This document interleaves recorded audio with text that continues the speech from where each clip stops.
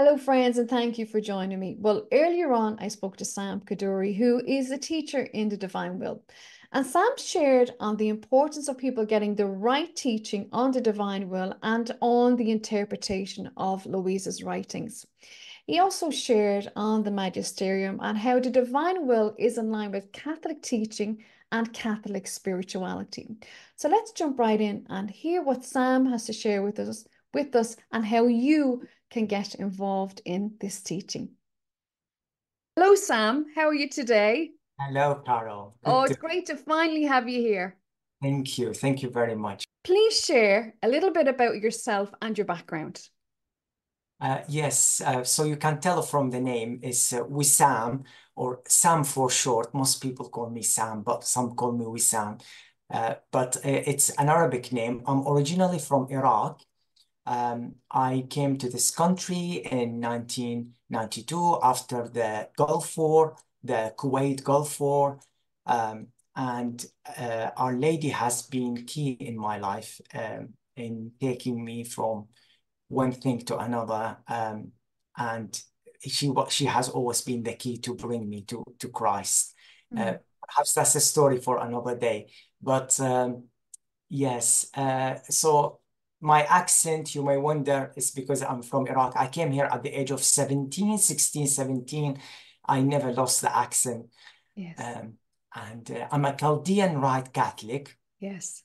So the uh, so uh, the liturgy we celebrate is based on Saint Thomas the Apostle. Okay. His disciples evangelized Mesopotamia, which is now Iraq, and they put the liturgy for the mass. So it's based on Saint Thomas. Uh, I still go to the Latin Mass as well here, but uh, yeah, it's nice. I mean, we, we mm. do the Our Father in Aramaic and the consecration yeah. in Aramaic. If you're, now, you're like us here and myself, you're passionate about the, the divine will. And just share a little bit about your own background in terms of your education because you studied theology, right? Um, so yes. share a little bit about that. Yes.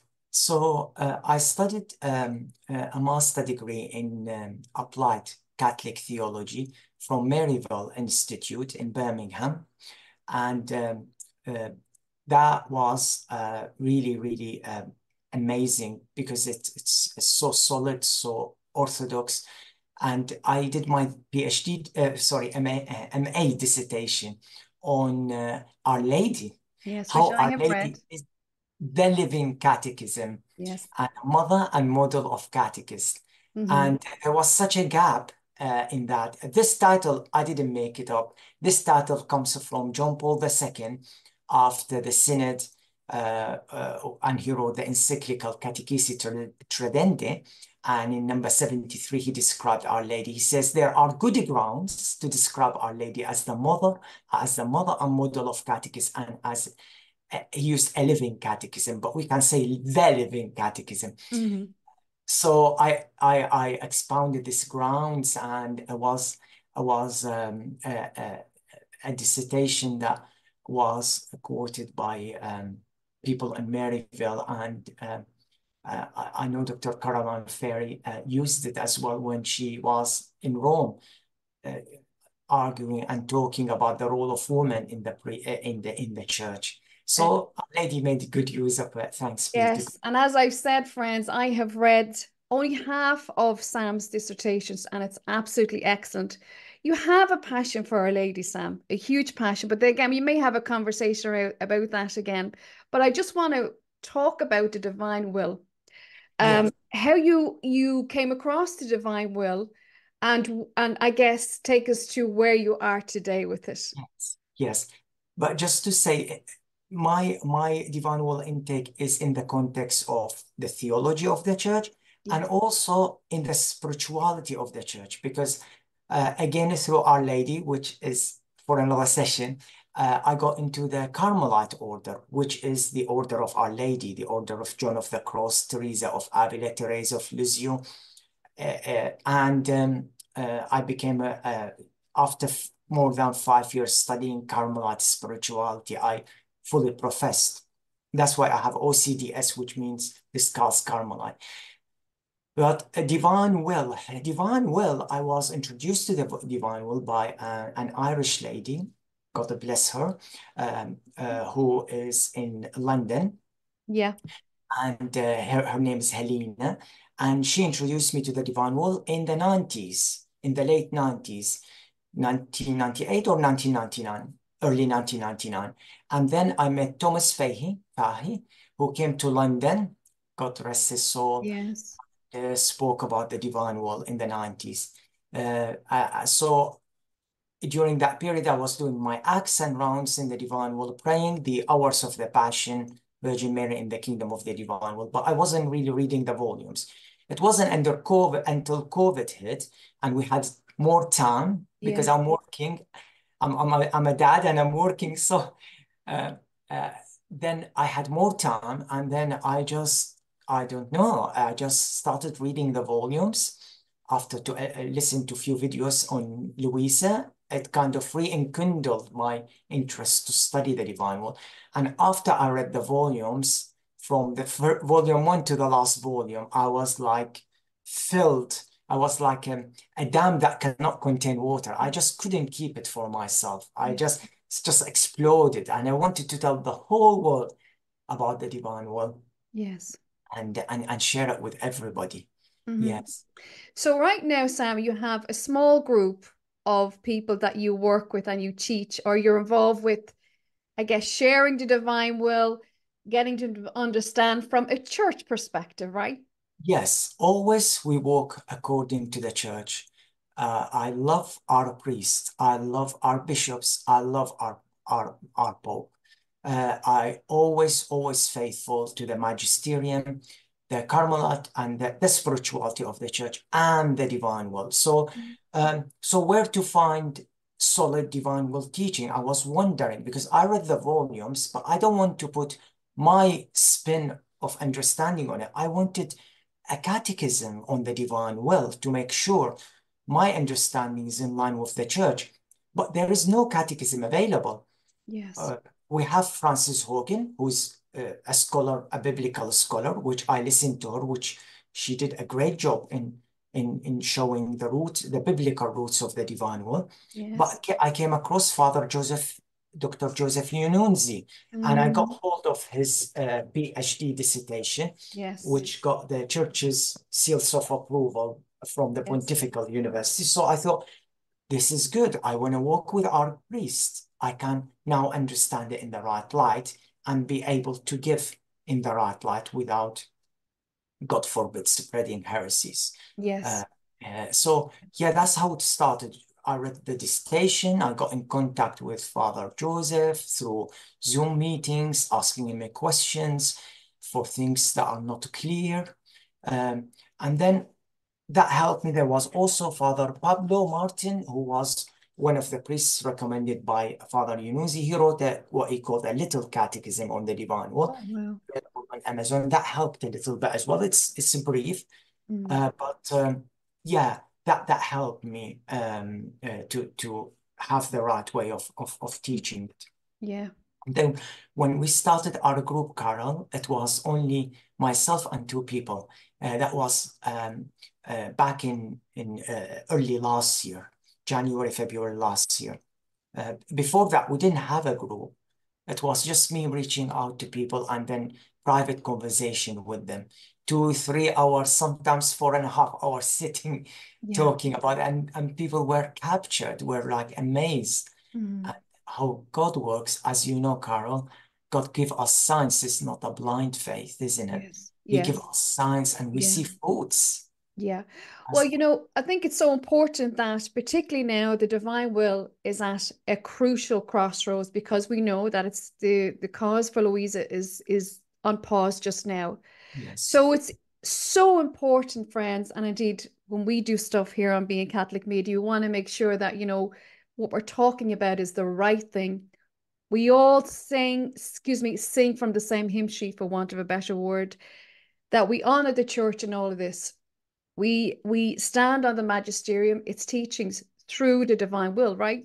Um, because like I say, we are at that crucial point, right, Sam? Yes, of course, of course. there are people teaching wrong things about the divine will.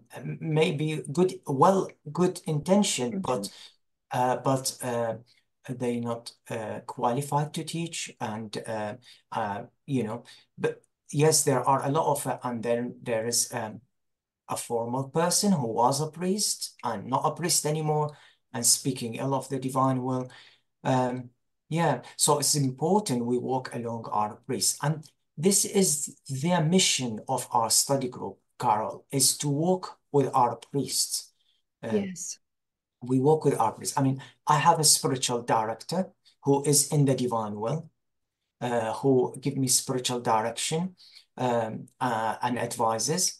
And we have a spiritual assistant in our group who's a priest in Rome, Father Richard. Mhm. Uh, he's in Rome and he is he he's got the through Father Iannuzzi, he's got the original manuscript, Oh, the. Italian translation of the volume. So we can I can go back to him and check on a particular ambiguous Mhm. passage. So he Mhm. could read it in Italian and then give tell me if that English is is good or not. So we So get the right interpretation. exactly, yes. And And it's all about that, right, Sam, isn't it? The right interpretation. Absolutely. So I, I'm close to him. You can see him in, in one of the videos in our recordings. He was sitting uh, next to me for a whole day uh, in January when he came from Rome to, to London. Uh, and um, he contributed and he's uh, he's still reading the volume, so he's new to this really, but Yes. he he loves every bit of it. He cannot see any contradiction with the faith. No. Actually, the fulfillment of everything. See, this is it, friends. The divine will is the fulfillment. It's truly a gift of our time. So I guess we're in a crucial time, Sam. You felt it was appropriate right now that you come online and I guess share what it is that you hope to achieve or the aim of your prayer group. Yes. Why do you feel now is the time? Yes, it's uh, there is unity. Uh, in unity, there is power. When we are united, we are strong. When we are divided, we are weak. Yeah. So, um, uh, our group uh, love the priests, love the priests. We are, we are uh, one of members, one of the members in our group sponsor priests. So priests come in and they find someone to sponsor them. Oh, Pray wow. um, we love our priests and we want our priests to be involved in, in the divine world, to be involved, to walk side by side next to us. Mhm. So, yes, we we had father, we have Father Richard, we have my spiritual director, we have we we had Father Humphrey O'Connor who came in last time, and how amazing he first time he comes on air and and and speaks, you know, he's got his little two, three people in his group, but now you know, people are more aware of him. He said beautiful things like when I pray my divine office, I, mm. I incorporate rounds in them. Yeah. And I, I, I do this as well when I pray my office, Yes. but Yes. I didn't realize there's somebody else doing it. So like, wow, okay, thank you, Father. That's reaffirming. I'm gonna do it even more now. Uh, Yes. yes. And he said, I pray my rounds within the Mysteries of the Rosary. I mean, isn't this amazing? When you hear that, you think, Mhm. then, you know, when the lay people hear that from a priest in persona Christi speaking like this, Their ministry is brought to a whole new level. There's no doubt about it. So, Sam, I guess, like I say, your aim is to bring more people into your prayer group, right? yes, yes, and reach out to priests who Yes. uh, I'm, I'm doing, trying my best to reach out to priests whom I know. But I'm sure, I hope there will be somebody listening here. I know a priest who's interested in the divine world and make contact. Uh, Mhm. And when we connect it, there is power. There is Yeah. this, in, in unity, there's power. Yes, and we just want to reiterate, friends, Sam is qualified to do this, more than qualified. He has the connections he needs if he needs to check anything out. Um, so I want to encourage you. We're going to put the details of how you can get in touch with Sam and this prayer group in the description uh, underneath this video. Um, so, like I say, it's important that we have unity. We stand on church teaching. There is nothing outside of Louisa's writings that are contrary to the faith. She bears the her writings bear the imprimatur, folks. So you know that says it all for us. So Sam, anything before we close? Before we close, is there anything you would like to add? Yes, uh, yes. So, uh, yes, for those who praise new to the Divine One, please come in, please contact us. We love you. You will find somebody who, uh, you will find the laity who is like Our Lady to, to the apostles, uh, who will pray for you, who will uh, support you, and who will benefit from your teaching and your role. So you'll feel empowered. Uh, uh, connecting to us. And for those priests who are solid in the divine will, Father Joseph Iannuzzi and others uh, who are solid in the divine will, uh, also I am going to reach out to them to, to give their witness, how they live the divine will. And hopefully people after they listen to their witness will actually go and check their teaching, solid teaching. Mm. Um, and then everybody will benefit really. And I want to read a little bit of Our Lady sure. in the in the uh, Vir uh, Virgin Mary in the Kingdom of the Divine Will. Yes. Um, day one. I did not. Uh, the, I do them uh, the thirty that prayer of Our Lady, the Virgin Mary. I do it in the month of May, October, but I also try to do it in the month of March. So like at least three times a year. So today is day one. This is the lesson, Sam. Is it? This is the lesson. Our Lady's lesson. Exactly. Yeah. So this is. So I didn't pick this up. That was my assigned um, reading for today, and I just thought it's so appropriate. So I read from what Our Lady is speaking to Louisa, and through Louisa to her priest, her laity, her religious who are gonna embrace that gift of the divine one. And Our Lady says. Our Lady says, um, I know its admirable secrets, infinite joys, indescribable happiness, and incalculable value. She's speaking about the divine will. To hear my child calling me because she desires to listen to my lessons on the divine will is for me, Our Lady speaking, the greatest festivity, the purest joy, Ah, Our Lady says, if you listen to my lessons, I will consider myself most fortunate to be your tender mother. Yes. Oh, how I, I, I just finished the paragraph. Oh, how I sigh to have a child who desires to live only in the divine will. Tell me, oh child, will you make me happy? Will you place your heart, your will, and your entire self in my maternal hands? so that I may prepare you, dispose you, strengthen you, and empty you of everything. If you do so, I will completely fill you with the light of the divine will and form in you its divine life. So place your head upon the heart of your heavenly mother and be attentive in listening to me so that my sublime lessons make you decide to never do your will, but always the will of God. Amen. Amen. Amen. Well, Sam, thank you for joining me today. We hope this reaches many ears and, um, like I say, encourages priests to come on board because, like I say, it'll take their ministry to a whole new level and indeed those who participate. So, again, thank you for joining me today. Thank and we'll you. be talking again, there's no doubt about it. Um, there's so much to do in the divine will, there's so much to cover so much to learn and i'm super excited about it and i'm super excited for you about your ministry and may the lord and our blessed mother continue to guide you. And thank, you for joining me today. One um, more thing carol. Behind sure. me you see that these uh, icons ha have not been chosen by by accident. We have uh, christ jesus the good shepherd who lead each soul on its own unique journey. And as our mother, Holy Teresa of Avila says, no two souls have the same journey, even by half. And he is also the good shepherd in the priest who leads a flock. So that icon is very special. Next to it, we have Our Lady of Mount Carmel, because I'm Carmelite and I'm teaching you, through these lenses of Our Lady through the spirituality of the church. Then we have Saint, um, uh, uh we not Saint yet, um, a servant of God, Luisa Piccarreta, with her relic, and Saint Hannibal de Francia, who was the ecclesiastical censor and the spiritual director of Luisa, who gave who was instrumental in the Imprimatur and Nil Obstat in the first 19 volumes, The Hours of the Passion Virgin Mary in the Kingdom of the Divine Will.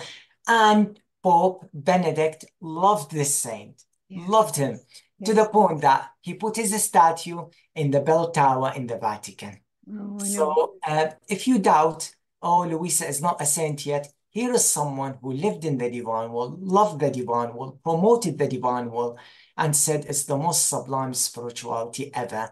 It's the fulfillment of everything. Whose statue in the Vatican, he's there. He witnessed. Yeah, she's that. not a saint yet, but she's on her way. There's no doubt exactly. about it. Yes, this is yes, just this pause is just a pause. I think we will will agree there, Sam. But thank you again. Thank you again. And um, thank you again for your witness. And you can see your zeal and passion there is great, especially for Our Lady. So again, thank you, Sam. And until next time, friends, I hope you are encouraged by this video today. And thank, thank you for joining me. Thank, thank you, Sam. Mother bless.